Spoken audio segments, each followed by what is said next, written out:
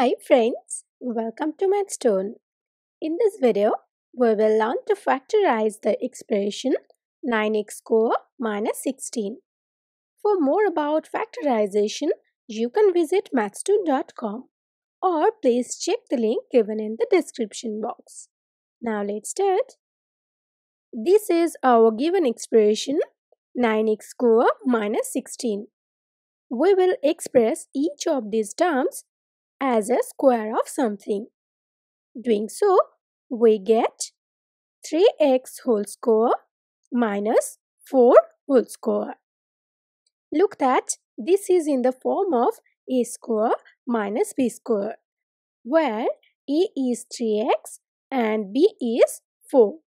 So we can apply the formula of a square minus b square here. This is the given formula Applying this in this expression, we get 3x minus 4 times 3x plus 4. So, our desired factorization of 9x square minus 16 is 3x minus 4 times 3x plus 4. Thank you for watching. Please like and share this video if you find it useful. Leave a comment in the comment box. Do not forget to subscribe this channel. Please hit the bell icon to get notification of new videos earlier.